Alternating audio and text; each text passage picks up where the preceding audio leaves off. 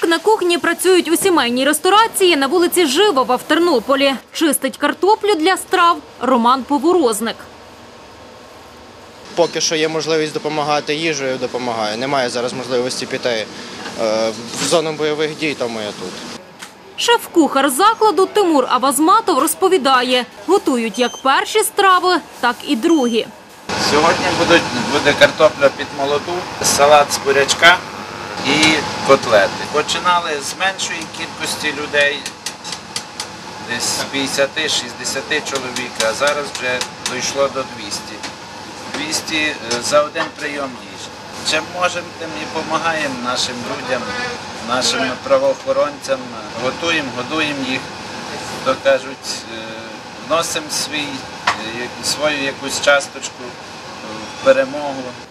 Зараз цей заклад готує страви для поліції, Нацгвардії та тероборони, каже власник Микола Дирецький. За його словами, з продуктами допомагають гуртівні та благодійники.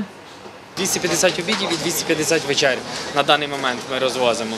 І в принципі можемо більше, тому що продукти є, люди є, які можуть працювати, машини є, які можуть доставляти.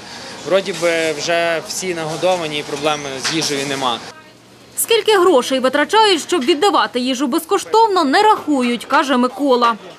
Та я думаю, що ми взагалі не думаємо про таке. Хтось дзвонить, питається, скільки це. Ну я ще буду рахувати, скільки я недозаробив. Я думаю, це смішно в такий час. Зараз е, думаєш, як щоб, щоб діти були здорові і дружина.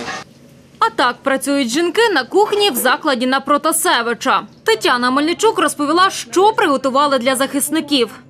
Картоплю, відбивну, салат, узвар, великі порції, смачні, все приготували як для себе. Хочемо сказати, що ми разом з вами.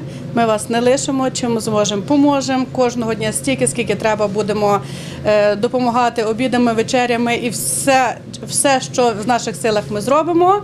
І віримо в нашу перемогу дуже швидко.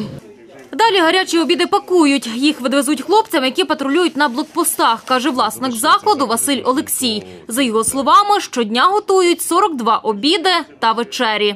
Ми патріотично настроєні і, е, скажімо так, ми розуміємо, що в такий час ми мусимо допомагати, чим тільки зможемо. Це однозначно, що йде в збиток, тому що ми не працюємо зараз в такому режимі, як би мали працювати. У нас немає клієнтів, як ви бачите. Але за рахунок е, проїжджих е, людей, які стають пообідати, хоч щось, е, хоч якісь кошти поступають, які ми практично можна сказати перенаправляємо на допомогу нашим нашій армії.